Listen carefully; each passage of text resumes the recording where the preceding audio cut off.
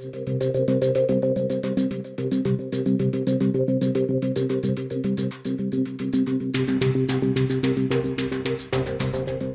प्रदेश के बदायूं से दिल दहला देने वाली घटना सामने आई है। यहाँ की बाबा कॉलोनी में दो लोगों ने बच्चों की बड़ी ही बेहरहमी से हत्या कर दी।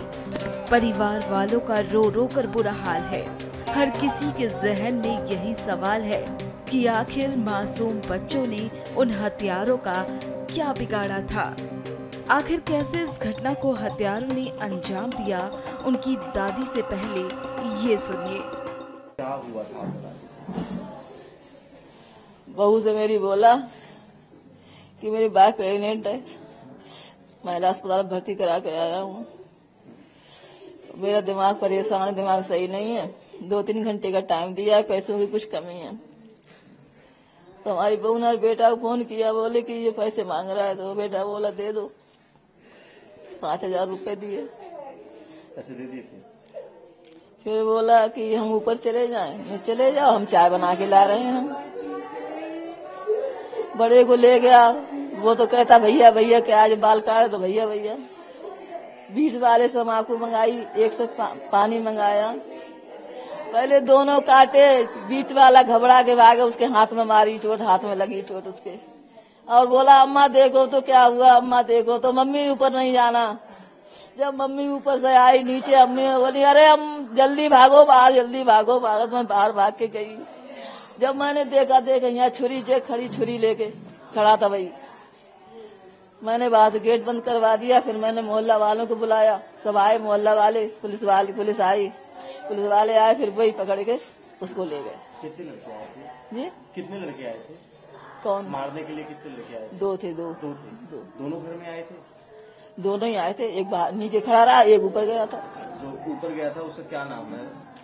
जानते आपने पहले देखा है उनको? मैंने खास नहीं देखा हमारी बहू जानती है। क्यों? हमारे कोई मतलब तो रहता नहीं है। मैं तो ड्यूटी करती हूँ होमगार्ड में। सुबह को चली जाती हूँ शाम मैं मैं किसी घर जाती नहीं। हूँ इन्हीं से जो दुकान चला तो बाल उसी से कटवाते थे बच्चे लोग हमारे। बाबा कॉलोनी के जितने जो लोग हैं बच्चे उसी से कटवाते थे। तो वजह यही थी कि ये भैया भैया कहते अरे भैया मेरा नंबर लगाओ। वो कहते, भैया मेरा नंबर लगाओ। तो भैया के चक्कर में वो चला गया दोनों बच्चे मेरे।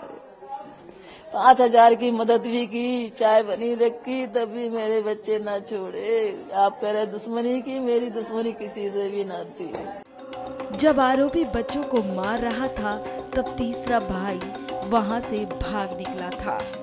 बता दें कि आरोपी ने पीयूष के छोटे और बड़े भाई को उसी की आँखों के सामने ही मौत के घाट उतार दिया। क्या हुआ था आपके साथ आपके भाइयों के साथ कौन आया था?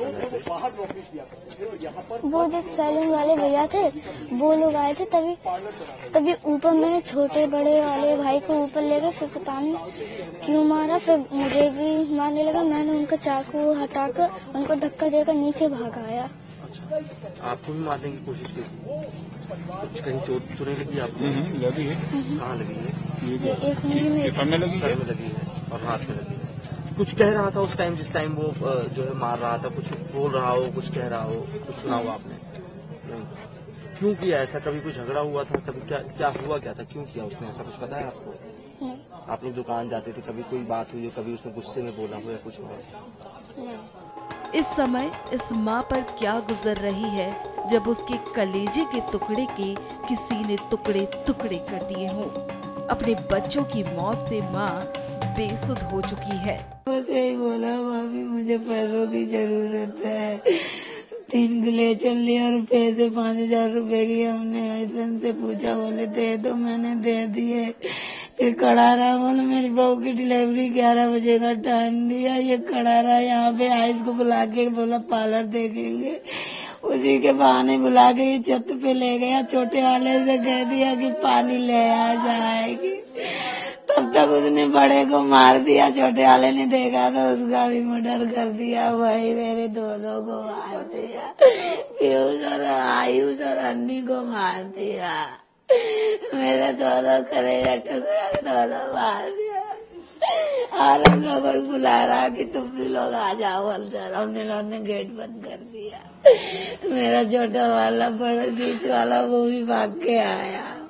नीचे जाते थे तो उसे भी मार देता वो। उसने बहुत बेरहमी से हमारे बच्चों को मारा। वो। हाँ चाकू था इतना बड़ा। नुकेला था चाकू था बहुत धार सफ़ेद का स्टील जैसा दिख रहा था। क्या नाम था उसका? जावेद और उसका क्या नाम जिसने मारा? अंदर साजिद आया था या जावेद आया था? जावेद आया था। जावेद तो वो गाड़ी पे इंतज़ार कर रहा था वो भी यही था। और साजिद अंदर आया जब हमने गेट बंद कर दिया तभी वो भाग गया। ये पड़ गया मेरे उसमें तो ये पुलिस वालों को बुला के मैंने इसे पकड़ा। पिता का इस मामले पर क्या कहना है? सुनिए।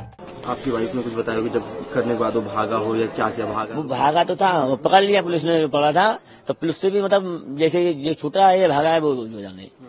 बात ये है बाकी कोई मतलब ऐसा कुछ नहीं था। मगर दो थे वो।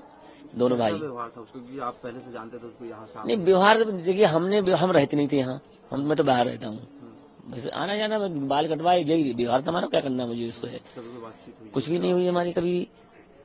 पता नहीं है क्यों मैटर क्या बना इसका या किसी ने मैटर बनवाया है पता नहीं हाथ का ऐसा काम करवाया कि हम ऐसा करें।